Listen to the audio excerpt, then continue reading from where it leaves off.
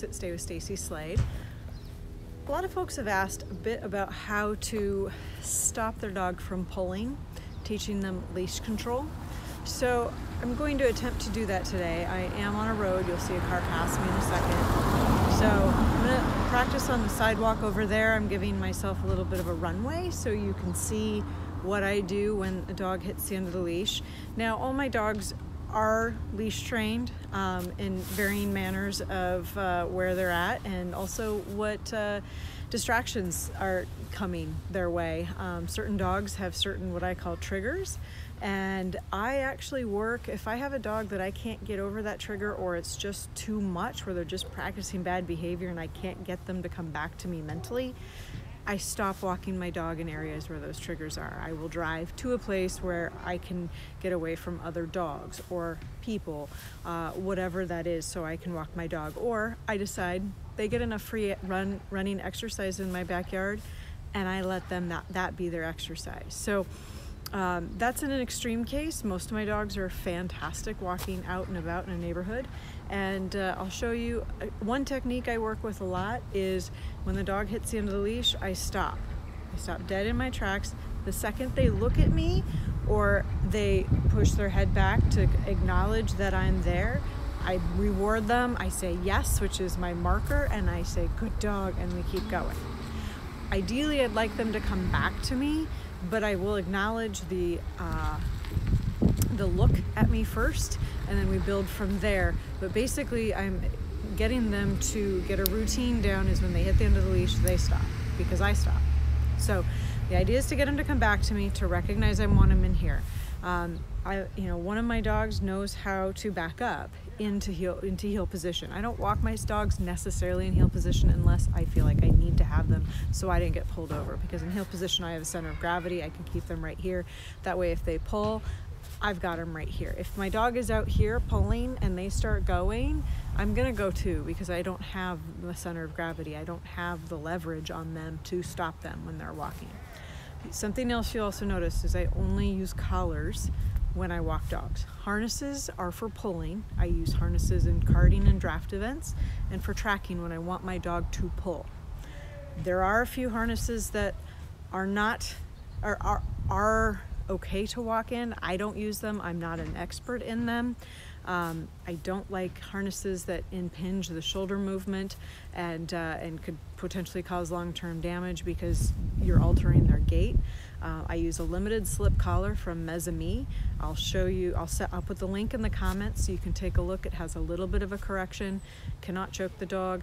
Also, it's really important to me if used correctly, it cannot, the dog cannot slip out of this collar over its head. I do not use a buck, buckle collar because they will slip out over the head.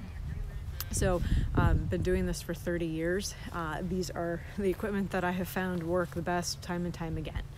Um, so, if some dogs I need a little bit different collar, a thicker collar um, on my males especially, just because they're big, uh, and uh, I've kind of hit or miss on what works for them. So uh, happy to answer any questions in the comments. There's a lot of ways to do this. This is what has worked for me. So uh, if it doesn't work for you, it, it, that's okay. I've tried many different things, and some dogs I've done different things. So um, always use a flat leash. Don't use a retractable leash, the flexi leads. You have no control on that. Your dog doesn't understand that the hit the limit of the, the flexi lead. You can get in a lot of trouble with those flexi leads around other dogs, other people. Just leave them at home. They're not for teaching a dog control on a leash. Uh, and never put a puppy on one because they good luck getting them leash trained if you do that. So that's kind of my uh, my soapbox. Uh, 30 years of experience of training dogs and working with dogs.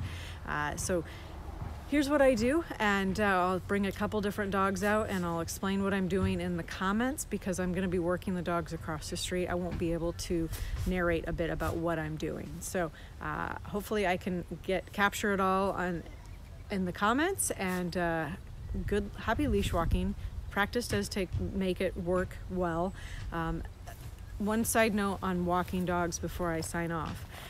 Any puppies, puppies need free play more than they need a, a, focused walk on a leash. Puppies need to run around with other puppies and get their exercise out. But dogs aren't meant to just go on a three mile walk back. They can, but it takes time, and puppies can't do that. It's like taking a toddler for a 20 mile hike and expecting them to do it. They can't. So, um, small walks, don't expect miracles. I also, the other thing when I'm walking dogs is I'm we're having fun. We, I have treats. 100% always have treats. Always, always have treats. I use jerky treats. They're dry. They're, I get them at Costco. Um, they're made in the U.S. They're dry. They stay. They are in my pocket. I don't use necessarily string cheese when I'm walking because it's harder for me to get it out. This one I can break these off in tiny little pieces to reward dogs in uh, from so it makes it easier for me with those jerky treats and i have a whole pocket full of them uh, i never run out. Make sure that you never run out. If you start to run out turn around and go home because you want to make sure you have treats to work through any challenging situations of dogs people animals squirrels deer that type of thing.